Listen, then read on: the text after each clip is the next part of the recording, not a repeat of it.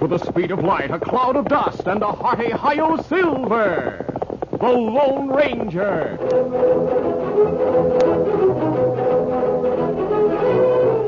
Before this exciting adventure, a word from our sponsor.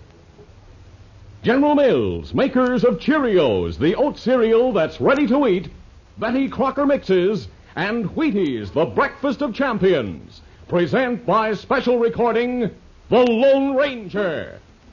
Say, kids, I bet your mothers remember when baking an angel food cake was a dreaded task. Well, it's a joy with Betty Crocker Angel Food Cake Mix. All the fine ingredients are right in the package, including the whites of 13 eggs and a special General Mills Angel Food Flour. You just add water, beat, and bake. That's all for the highest, lightest angel food you've ever seen. In fact, it bakes up higher than any cake you can bake with the whites of 13 eggs. Mmm, and so delicious. And there's no guesswork to turn out a perfect angel food every time. In fact, Betty Crocker guarantees a perfect cake. Angel perfect every time you bake. Cake after cake after cake. Absolutely perfect, or write General Mills, Minneapolis, Minnesota for your money back. And Betty Crocker Angel Food goes so perfectly with any one of your favorite summer ice creams. You'll want to have it often. Someday soon, ask Mom to bake up a perfect Betty Crocker Angel Food cake. A light summer dessert for the whole family.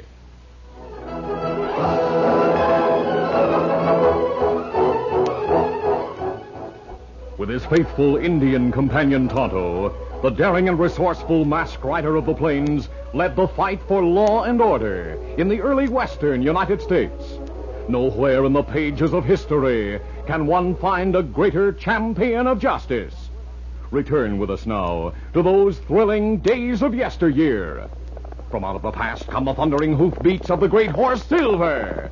The Lone Ranger rides again. Come on, Silver. Let's go, big fella. Hi-yo, Silver. Away!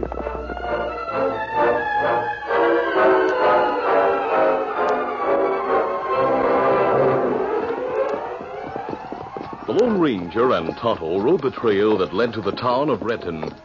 As they rode, they discussed the reason for their trip southward from Eagle Pass.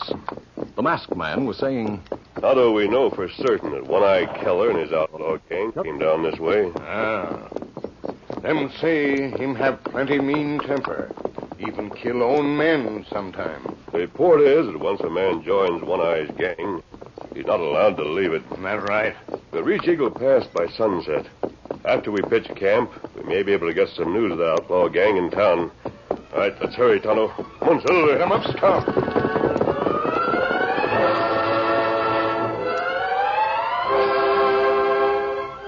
That afternoon, One Eye Keller was talking to two of his men in a hideout shack near Eagle Pass.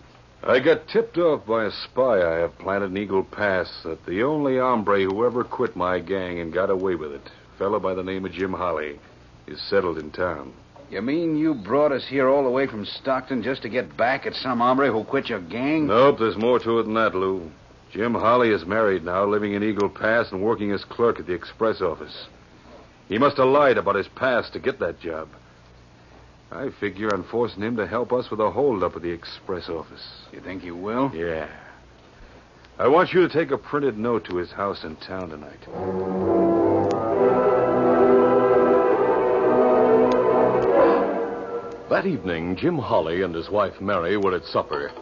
Jim, about 25 years of age, smiled happily as he said, Well, honey, by this time next year, I hope we manage to save enough to get a small ranch outside of town someplace. Yes, but it's going to take a lot of money to start a ranch, even a small one, and to stock it with cattle, Jim. Huh.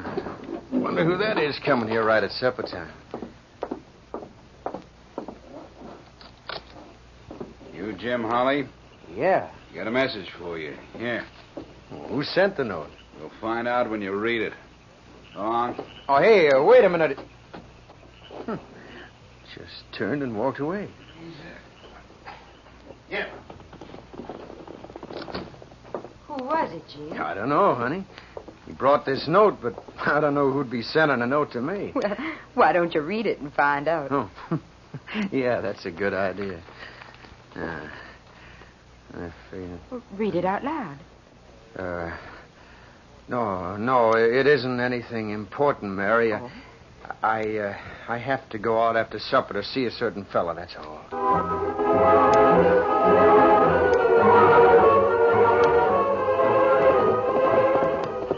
The moon was bright when Jim Holly reached the fork in the trail and pulled to a halt. Ho, ho, hold on. Easy, easy. For a moment, he sat still, looking around. Then he saw three horsemen ride from behind some big boulders, a short distance back from the trail. Well, I knew that note would bring you out here, Holly. I didn't have much choice. What'd you say in that note, One Eye? I didn't get to see it. Here, you can read it if you're that curious. Oh, yeah, thanks. It's been three years since you lit out on me and the gang. I found out you're settled here with a wife and a job. Meet me at nine tonight at the fork in the South Trail. I have something to talk over. Don't try any tricks. You're being watched every minute. I'm not gunning for you yet, so don't worry about coming out. But be there. well, you sure knew what to write to bring him here, One Eye. Uh, here's your note, Holly. I don't want to throw it away if you want to. Uh, sure. Now, Keller, why did you have me come here? I just need a little help from you, that's all, Holly. Of course, if you don't agree to give it, anything might happen. What do you mean, help? Just leave the express office safe unlocked tomorrow night. That's all. Listen, you can't force me to do that. You I'm not wouldn't gonna- like it much if we kept you with us and your wife was found in the morning with a bullet in her, would you? Oh, no, no, wait a minute. Leave her out of this. Well, that's up to you. And I'm not waiting long for an answer. You won't get away with this sort of thing. Well, you won't play along, eh? All right, we take him back with us, Lou. You head for town, go to his place, make sure. No, no, you- no, no. Wait a minute. Well, he's coming to his senses, One Eye. I'm waiting, Holly. If if I help you, what then? I let you alone, of course. You got my word. Well, look, do it this way then. I I'll arrange to work overtime tomorrow night. You tie me up and rob the safe. I can say you got there while the safe was unlocked and took me by surprise. All right, that's the way we'll do it. But remember, you pull anything tricky, neither your wife nor you will live to tell it. Now get on back to town. All right. Let's get back to the hideout. Sure. Get up. Get up.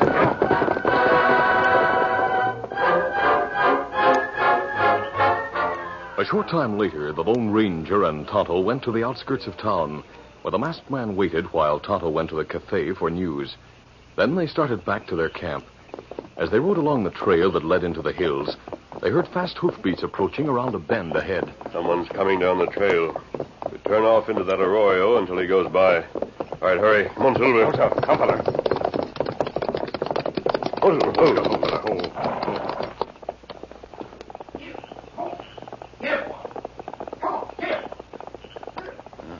Moon plenty bright. Kimasabi, that look like fella me see leaving town when we go to cafe while go. Him ride black horse with white forelegs. He seems to be in a hurry to get back to town. All right, let's go, Tonto. Come on, up scout.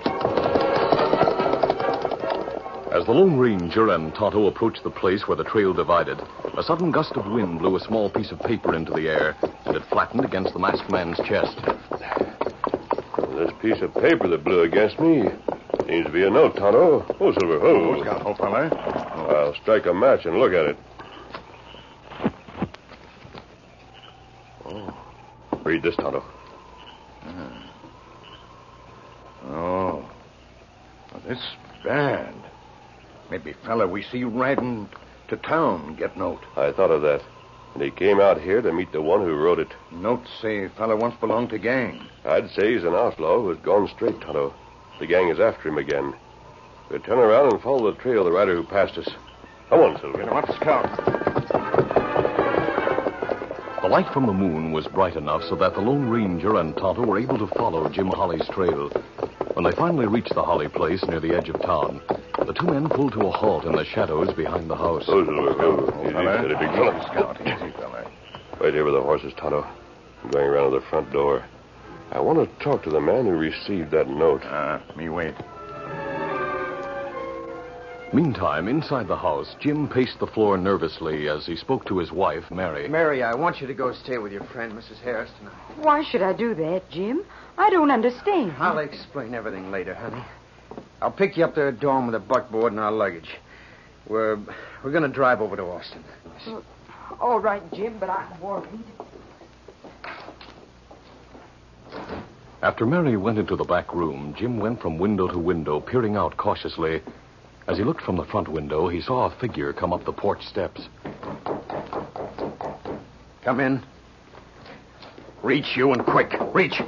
Just a minute. I came here. I don't know why you came to the house, but I know one I had you planted outside watching. Keep your hands up and go outside. I'll be right behind you. And if you make one false move, mister, I'll shoot you in the back. We'll continue our Lone Ranger adventure in just a moment.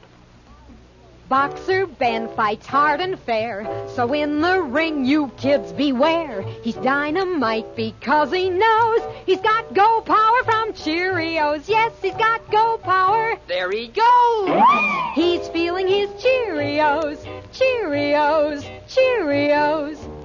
Cheerios, the cereal everybody loves. No other cereal looks like Cheerios. It's shaped like little letter O's. No other cereal tastes like Cheerios. It's the only ready-to-eat cereal with this fresh toasted oat flavor. No other cereal is like Cheerios. You see, Cheerios is made from oats, and every delicious spoonful of Cheerios and milk is real muscle-building food. Each spoonful contains vitamins, minerals, and proteins your body needs. Yes, the good things in a Cheerios breakfast do good things for your body. Help you have healthy nerves, good red blood, strong bones and muscles. Have Cheerios every morning. Then you'll hear people say, He's feeling his Cheerios.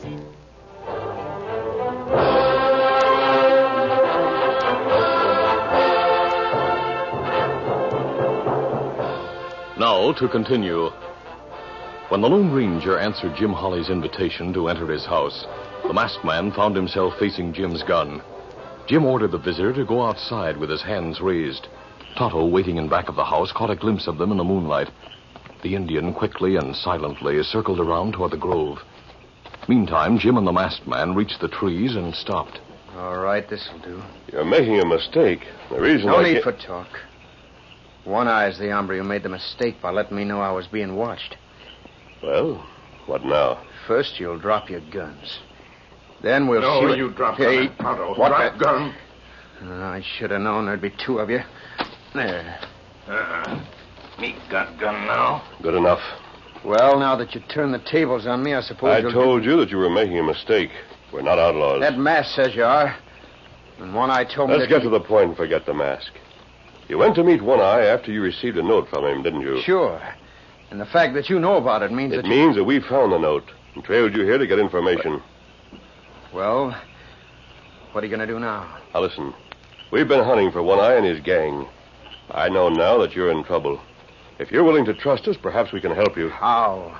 First, tell me what hold One Eye has over you and why he wanted to talk to you. Well, I reckon telling you won't matter one way or the other. My name is Jim Holly. A few years ago. Briefly, Jim told the Lone Ranger and Tonto about himself and about his meeting with One Eye that night. Finally, he reached the end of his story. Jim, you'll still be able to live here and keep your job. If you'll go along with a plan I've thought of to trap One Eye and his gang. All right. I'll do it. Good. Let's go inside, Jim. And we'll discuss the plan I have in mind. After the Lone Ranger and Tonto went into the house with Jim Holly, the figure of a man eased out of the shadows across the street and hurriedly made his way to the hitch rack in front of the cafe. There he mounted a horse and rode quickly out of town.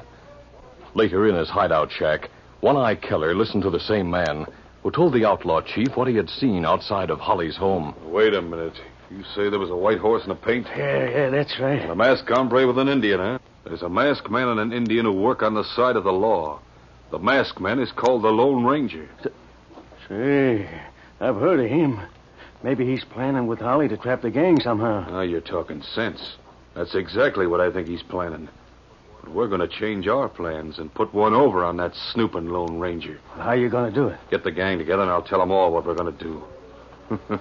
Both Holly and that masked man will be in for a big surprise.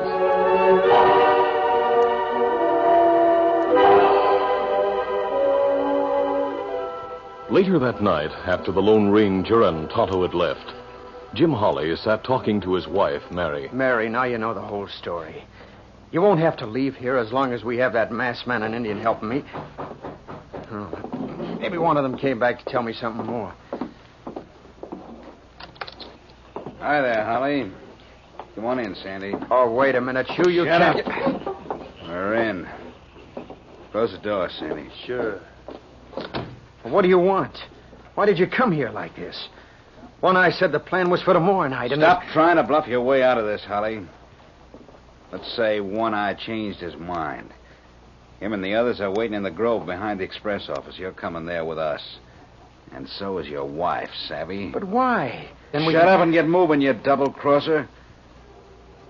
Bring the woman, Sandy. We'll walk him along behind the building so he won't be seen. Let's go.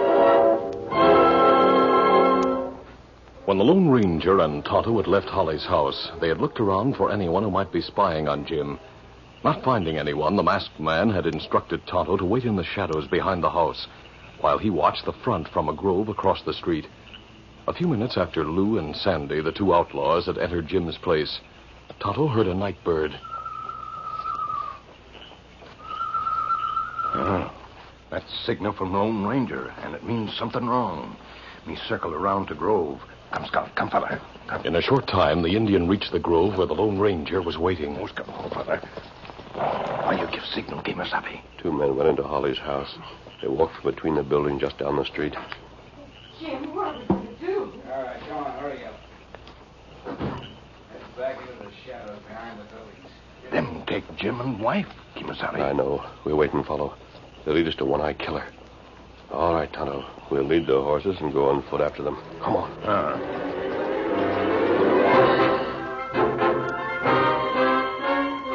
Meantime, One Eye grinned maliciously as Jim and Mary were brought before him. Here they are, One Eye. Good work, Lou. Listen, Holly, You're going inside right now and unlock the safe. Then open the back door for us. No, by thunder. Shut up. We'll keep your wife here with us to make sure you go through with it. Now get going, Holly. Lou will go along with you just to make sure.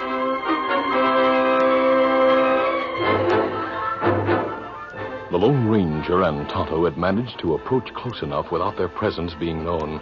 Realizing the gang's intention, the masked man spoke hurriedly. I'll write a note and wrap it around a silver bullet. You take it to the sheriff right away. uh, me do it. When the gang left the grove and went into the express office, Sandy was left to watch Mary Holly.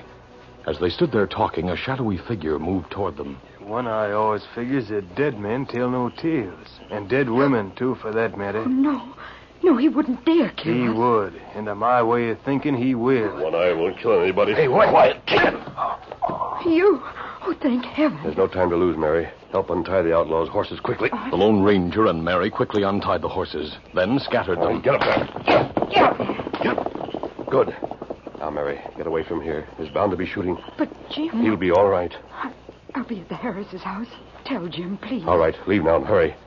I'll get to the back door and make sure no one gets out until help arrives.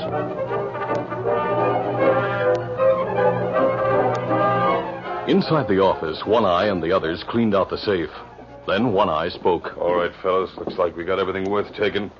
Bring that double cross in. Let's get out of here. Yeah.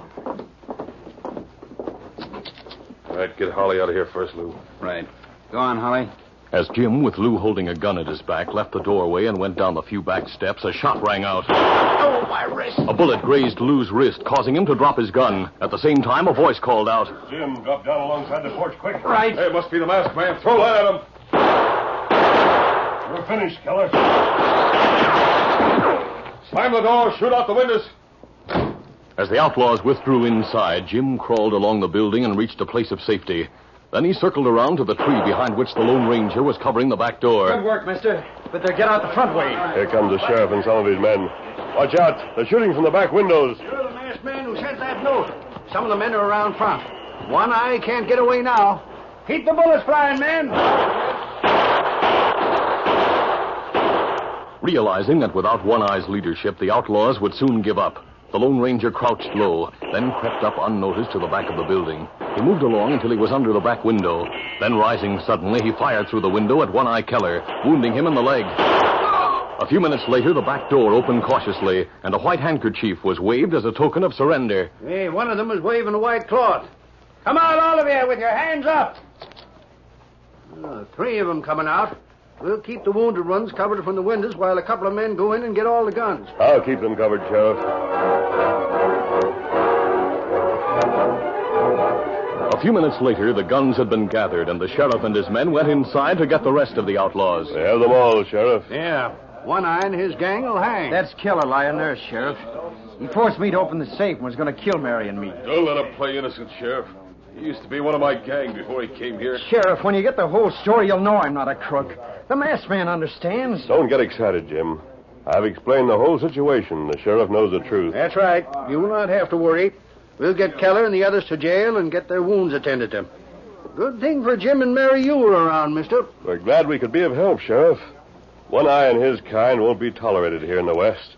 Well, we'll be on our way now. Adios, Sheriff. Goodbye, mister. Thanks. Oh, gosh, he sure is a mighty fine hombre, Sheriff. You know, even though he did so much for Mary and me, we we still don't know who he is. well, I know, and I'll bet Keller knows, too. Now, most outlaws here in the West sooner or later get to hear about that masked hombre and to find out that he's the Lone Ranger.